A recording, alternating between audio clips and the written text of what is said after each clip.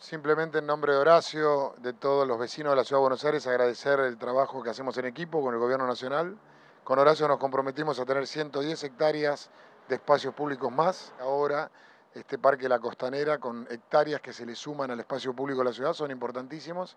Pensamos en una ciudad que mira el río también, que no deje de darle la espalda para darle una visión integrada a nuestros vecinos y a todos aquellos que vienen a la ciudad y obviamente hacer crecer nuestro aeroparque que implica más turistas, más personas viniendo a consumir, que cuando bajan de aquí se toman un taxi, ya están consumiendo, van a un hotel, van a, a un comercio, comen, disfrutan de una ciudad y les generan trabajo a un montón de vecinos de la ciudad y argentinos. Así que un placer para nosotros, seguimos creciendo, seguimos llevando a la ciudad donde la queremos llevar, con más espacio público, con más plazas, con más parques. Y la verdad que es muy lindo poder seguir terminando obras que van a quedar para siempre.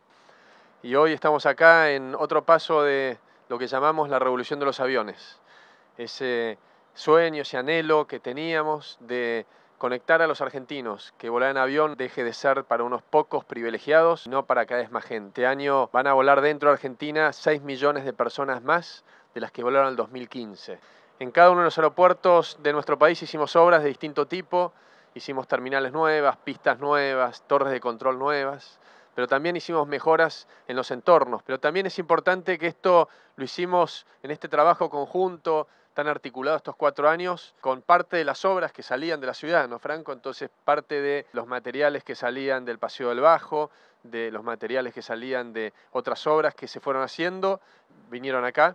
Es la primera vez que con una obra vamos alcanzando el objetivo que nos cumplimos, que es mejorar la calidad aeroportuaria. Es una obra impresionante pero también gana espacio para las vialidades del aeropuerto, esto ya es una realidad, ya estas vialidades se están construyendo, están acá enfrente, esta perspectiva nueva que tenemos del aeroparque es parte de estas vialidades que ya estamos viendo, que son estas que están a la izquierda, que la primera parte ya, está, ya están siendo usadas, y también permite que la, que la terminal del aeroparque crezca, que es otro gran cuello de botella histórico que ha tenido el aeropuerto y que no había forma de solucionarlo sino haciendo esta obra.